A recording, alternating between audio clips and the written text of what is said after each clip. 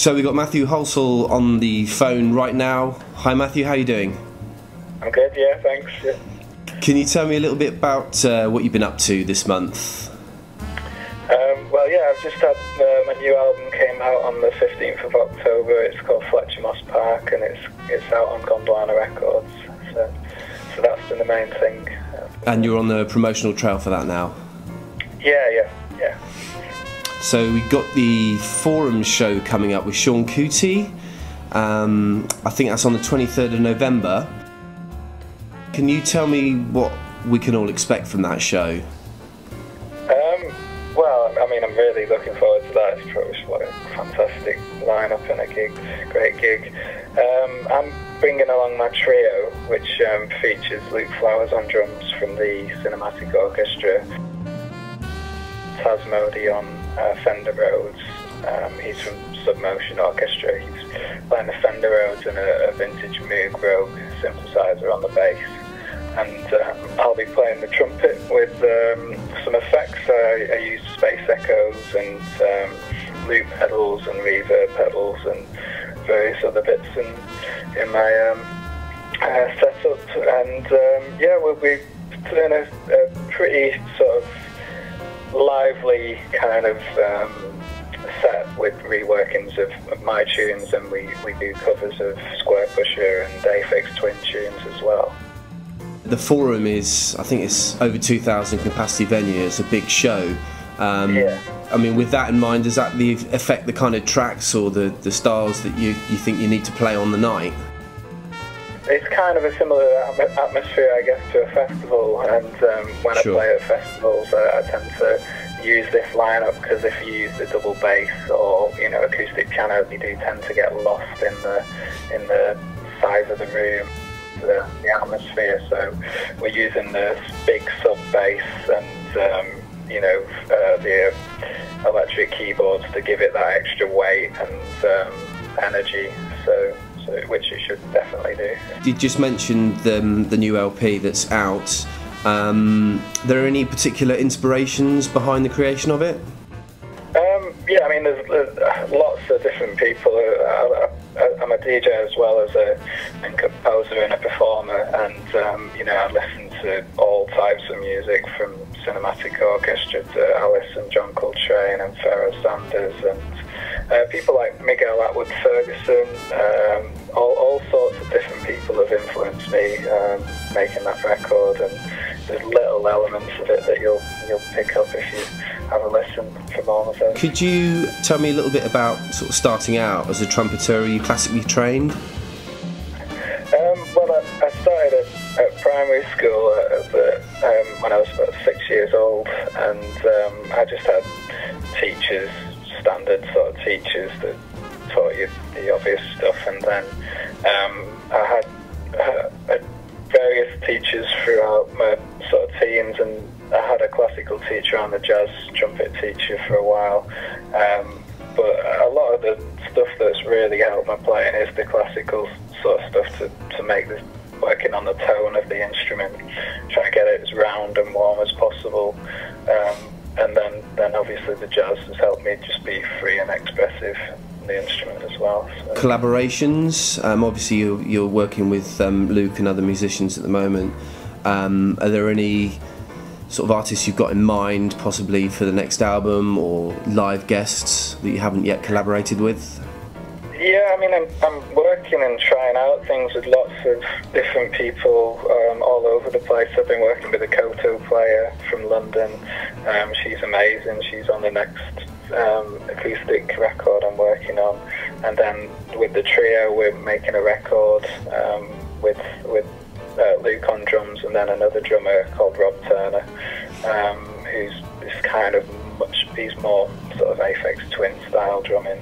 Um, and uh, Taz on keys. We're, we're kind of working together on that stuff, and then whilst that's happening, I'm making another spiritual jazz style record as well, which will feature strings and it possibly. It, I'm looking to get some vocalists on some on both projects as well, but um, uh, it just depends how it all pans With out. that in mind, I guess you already know where your music might take you next. Yeah, I mean, there's, I've got loads of stuff that's that's bubbling up in, in various directions, and um, they'll just come out either under all under my name or under various aliases and stuff. Mhm. But um, it's yeah, I'm, I'm just making whatever I, I feel 100% happy with, and I'm not restricting myself to just making one type of record. Can you tell me about the last record you bought? The last record I bought, um, I actually bought the Soul Jazz Orchestra's new album. Uh, it's, it's great, absolutely love it. Uh, it's kind of Afrobeat, um, sort of bits of sort of reggae uh, vibes in there as well, and a bit funky. Um, and it, it yeah, I, I just love it. It's, it's kind of loads of tracks on that I, I like playing out when I'm DJing. Are there any guilty pleasures you want to admit to us on the phone? Um, no, I don't think so. Um, I, I mean, uh, you know, uh, I listen to all types of music. Like, I really love uh, the stuff of Aphex Twin and Mhm. you know people like that. But you, you know, it hasn't quite come through in my music at all. But you know, stuff that I, I, I yeah, I really like it. So, but um, other than that, yeah, I don't, I don't know. Did you check out the um, the Barbican show, the Aphex remote I've seen it, orchestra?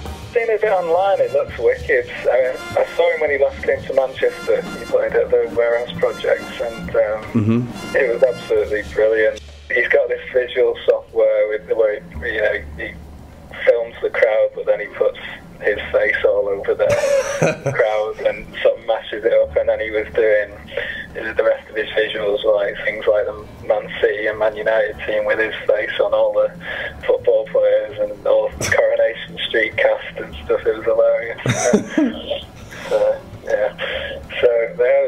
Can you give us an artist to look out for in 2013? Um, well, I mean, I've, I've just signed a trio to because I run a record label as well. Um, uh, Gondwana Records Mhm. my- is my own label, and I've signed a trio um, with that drummer Rob Turner's in, in the trio. It's called Go Go Penguin, and their record's coming out in November on the 19th of November, and it's, it's kind of definitely one worth out. We'll So- look for that. Um, and with, with that in mind, I mean, starting the new label, was that something that you wanted to do with regards to you giving yourself more creative freedom, or was it just you had artists that you thought, yeah, I really want to, these guys need to be heard, so if I do a label, then I can release it? It, it was a bit of both, really. I mean, I think I think um, Manchester, the scene is really, really like good. At, like, there's a real positive buzz around Mhm. Manchester at the moment, and there's there's a number of clubs that I, I go to, and uh, there's Matt and Fred's Jazz Club, and there's Band on the Wall, and Mhm. there's uh, the Roadhouse has some really good eclectic nights on, and I just saw a load of really talented people and, and wanted to record some stuff, and that was the first stage of it, and then it ended up that we, you know, we were making some records we were happy with, so we started putting that hopefully we're looking to sign quite a lot more um, local artists, but it's definitely based around Manchester and possibly a little bit at Le- in Leeds and stuff at the moment. Mhm. Uh, that's the type of artist I'm looking to sign. So, and then then expand across the UK and Europe, signing acts at, at a later date. So. With the new album, you're taking that out on the road. The new album, it's a full acoustic um, jazz record with harp, double bass, drums, piano, saxophone, flute, trumpet. So there's quite a lot of us. So we're, we're going to do a couple of gigs with that. Uh, sort of from Jan- January onwards, we've got one at Ronnie Scott's and stuff, um, and then we've got gigs in Belgium and across Europe. But we, I'm also touring heavily with the trio. Um, I've got gigs in Dublin and London and Manchester with the trio. Um, so, which we'll still be playing tracks off the album, but they'll be in a kind of more lively kind of club environment. Have you played at Ronnie Scott's before? yeah, yeah, I've done it. Uh, I did it with the first gig I did uh, was with Gilles Peterson and Nostalgia 77 Yeah. uh, with Keith and Julie Tippett, and that was brilliant. Good lineup. Um, yeah, it was the Brit Jazz um, thing, and then I, I did a, the Ronnie Scott's um, celebration, the birthday celebration. I did a gig down there for that as well, another sort of Brit Jazz thing as well, and uh, that, that was brilliant.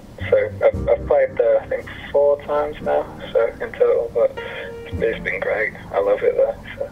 And is there anything that you do to make your touring schedule easier for you? What gets you through the tours? Um, I, I guess uh, you just got to make sure it's all really sort of. As much as you you know you want to make loads of money out of it, it's better to kind of um, make it comfortable and, and relaxing. So getting nice hotels and uh, you know traveling a little bit more sort of luxuriously is definitely sort of something I'd rather spend the money on that than you know take an extra whatever home, you know, an extra 50 quid or something. It's, so we, we just do stuff like that That's excellent. Well, we look forward to seeing you on the 23rd with Seun Kuti Yeah, yeah. and all those guys. Um, Matthew, thanks so much for your time. Uh, pleasure. Thank you.